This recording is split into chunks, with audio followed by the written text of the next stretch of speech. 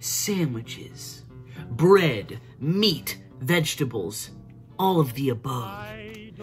What restaurant chain do you think of when you hear the word sandwiches? Firehouse subs. No, you fucking idiot, not Firehouse Subs. Subway! Yeah, that's right, Subway. The sub sandwich fast food restaurant. Subway is a sandwich shop founded by Fred DeLuca and Peter Buck.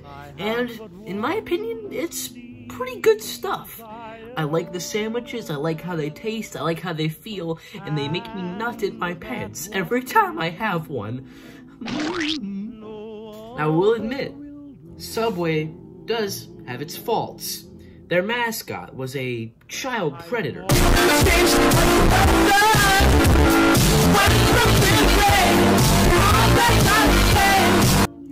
Lot of the jalapenos at certain locations are just the weird stubby end of the jalapeno.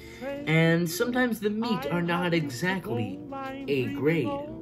But if you look past all that, it all tastes pretty good. I myself am a very big fan of the sweet onion chicken teriyaki with extra tangy veggies. Mmm, boy, I love that tang.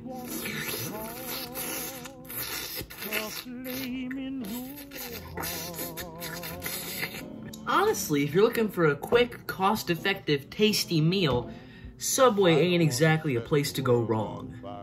I am not sponsored, however, Subway, please sponsor me.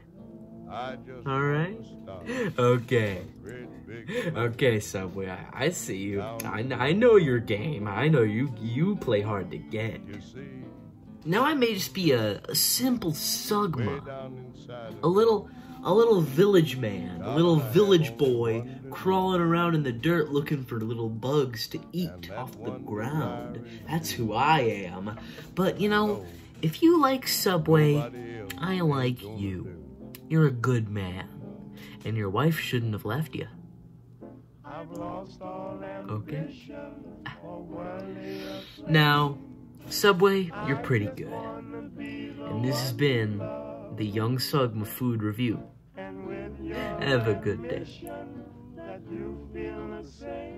Okay.